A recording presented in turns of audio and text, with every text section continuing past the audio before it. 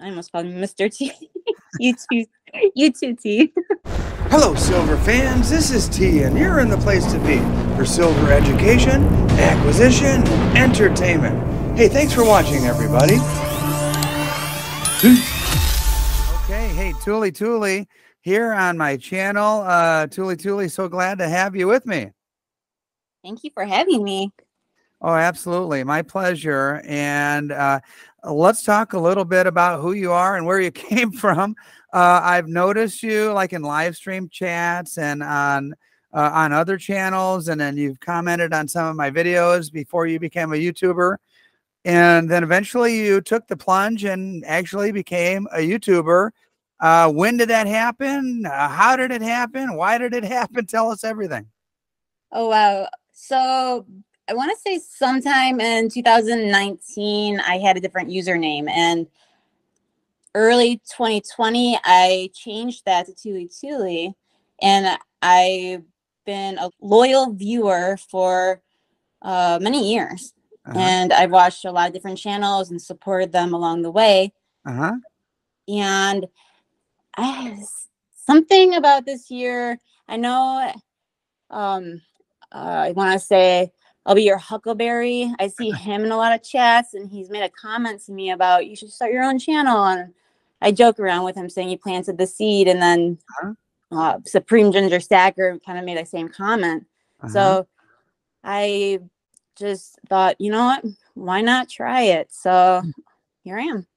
That's awesome. And how long has it been? Oh, uh, a month or two? Oh, not even. I think it's going on a month actually.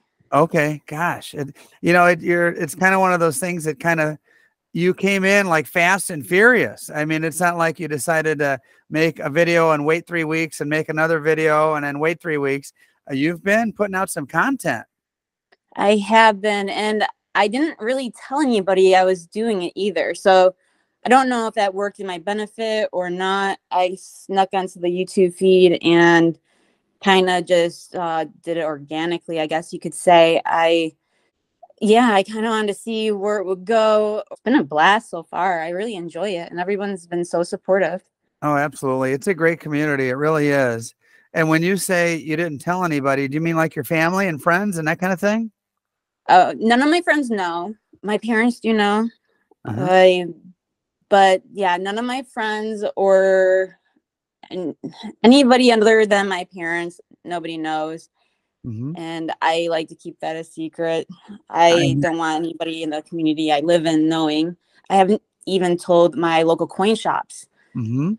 And I don't think a lot of them would like it actually, because not all of them have spoke good about YouTube. So huh? I don't ever plan on telling them. so yeah. that's also going to remain a secret.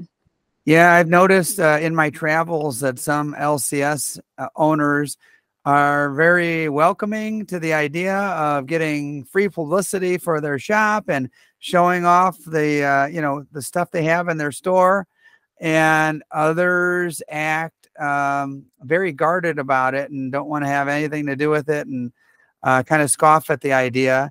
And eh, to me I that always kind of struck me as weird because they actually have a shop and they want to attract people to that shop. Um, I can understand why you and me and so many others, you know, private citizens don't want the whole world knowing. But I don't know. I never did quite understand that about shops that, you know, they have a storefront, they, they have advertising, but yet they don't want YouTube type of advertising. It's kind of weird. It it is. I, I, I don't know if you've noticed the same thing, uh, but most of the coin shops I go to, are uh, run by old guys, and you know they you know they sometimes they can be a little grumpy or have their opinions. that's that, you know. Very true. hey, you and I have a similar passion. Um, I know you love your vintage silver. Uh, how did that develop? Have you always been into the vintage? Is that a new development? And I will tell you this: um, I've noticed that over time, you know, people's taste kind of changes and evolves. And tell me a little bit about your affinity for uh, vintage silver.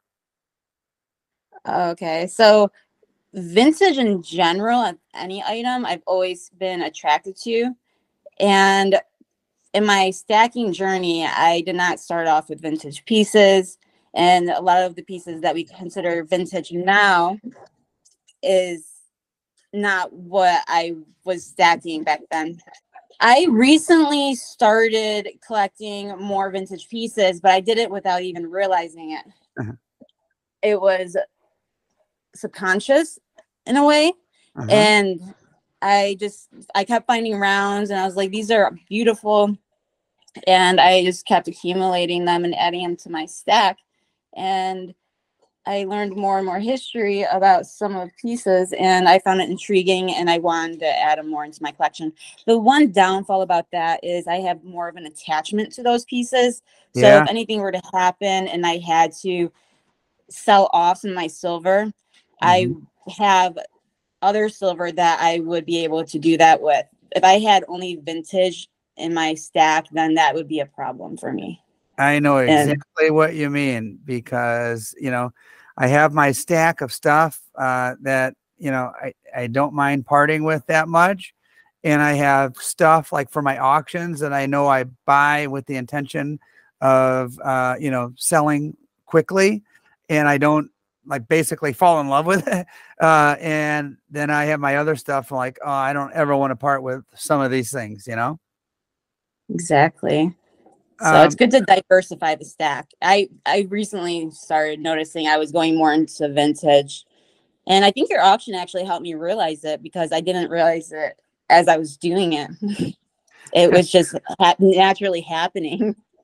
I, I kind of like uh, the fact that you know vintage has the history and the stories behind it, and I, that just intrigues me. And you know, my my other thought about it is if I'm going to be looking at it for the next 20, 30 years, God willing. I want stuff that I uh, like and enjoy pulling out every once in a while to look at. I agree completely with that. Uh, let me ask you uh, about your channel. Uh, and by the way, if any of my viewers haven't been to Tuli Tuli's channel, uh, definitely check it out. It'll, the link will be in the video description. And uh, she is definitely a an up and comer with a lot of talent what plans do you have uh, for the channel? Do you have uh, like uh, ideas that you are just to like kind of let unfold over time? Or are you just kind of to kind of freewheel and let whatever happens, happens? From a like from a business aspect, it would have been wonderful to be able to see my end goal and then reverse engineer it mm-hmm. into mm-hmm the beginning and watch it grow. I kind of put the cart before the horse with mm-hmm. my channel. I wasn't able to do that. And I just wanted to get the content out there and start making my channel known. Mm-hmm. And I put the logo and everything that normally a lot of people do first, I mm-hmm. put it on the back burner. Yeah. So I I am working on the logo. I want to learn how to pour silver. I want to pour copper. Mm-hmm. I have um, some ideas of what I want to do with my channel, and they're coming to me as I am continuously putting new content out and I'm getting new ideas. So I'm excited to see where it goes, but I don't have a set concept of where it's going to end, but I'm excited for the journey. Well, I definitely applaud you for taking the plunge. Uh, some people have uh, paralysis by overanalysis, and they sit there and think and think and think and think, and they just never do it. And so, for you and uh, you know many of the other up and coming uh, content creators, I say, you know, congratulations for just jumping right in. And it, has been a fun journey for me too, and I'm sure it will be for you as well. Uh, are there any other channels that kind of inspired you to take the plunge? Oh, that's a I, I I see a lot of channels and they're all different in their own way. And that's yeah. what I love about it. Mm-hmm. I wanted to one thing that I did with my that I wanted to do with my channel is I wanted to be 100% authentic to myself. I didn't want to pretend to be somebody. So in my videos you see the real me. Mm-hmm. It's unedited and you either love it or you hate it, and that's fine. But if I'm going to do something like this, I want to make sure I'm enjoying it. And that's was what's most important to me because I don't want to be one person on YouTube and another person in real life. Mm-hmm. As for people who already have a channel that I look up to, oh, I've been a loyal viewer and to um, Silver Dragons and Yankee Stacking and Stormy many channels I've watched over the years, and I could just like keep listing them off and off. but yeah, and it's kind of hard, and in some ways dangerous to even start rattling off names because you know you're going to forget somebody. But those three that you just mentioned, uh, yeah, those are three that are kind of like on my playlist as like towards the top. That I just constant rotation. They have something new. I go check it out. It's just they're automatics.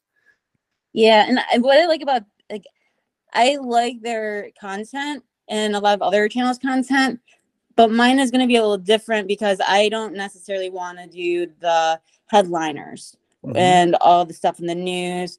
Because when I did watch YouTube strictly as a viewer, my goal was to just get away from all of that. So I didn't want to watch it again on YouTube.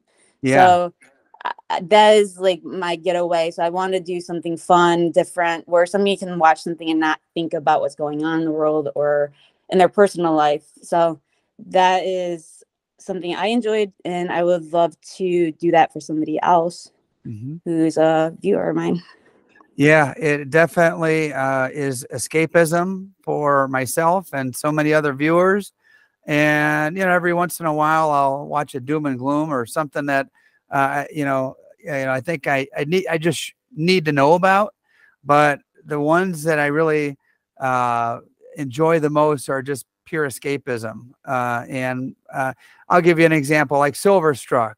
Uh, I love watching his channel and just learning about vintage silver. And he and I have very similar interests, and uh, he his uh, depth of knowledge is far greater than mine. And so every time I watch, I learn something. So I guess for me, it's escapism and education, but in an entertaining way. And he kind of fits the bill for that for me. But uh, Mrs. T is uh, entering uh, the room and uh, she wanted to just uh, say a quick hello to you, if that's okay. I'm going to pass her the uh, the headset. one second, okay? Sweet. All right. Good evening, Tuli Tuli. How are you? Good. Hi, Mrs. T. What an honor to talk to you. Oh, well, I don't know. Well, I, it's an honor for me to be with you guys too. I'm like, I don't know about honor on my end, but uh, this is so cool. Congratulations on your channel, by the way. I really appreciate that. And your auctions are so amazing. I'm very fortunate to be a part of them. So thank you for yeah. letting me help. Well, no, thank you for all of your help and support too. Uh, we really appreciate it. It's fun, you know. We enjoy doing them, and we have a lot of fun. And the chat is is hilarious. So I look forward to it every week. I know, so do I. And seeing everybody in the chat, communicating, and just getting together all at one in one live stream, it's very nice. And then yes. you see people in another live stream. It's like it's such a feeling of home away from home in a way. Yes, yes. Well, thanks again. Thanks again for your support, your help, and congratulations on the channel and best of luck to you. I really appreciate it. Thank you, Mrs. T. All right. We'll see you. Thank you. Sounds good. Bye bye. Well, hey, I didn't want to keep you too long, and I uh, really appreciate the time.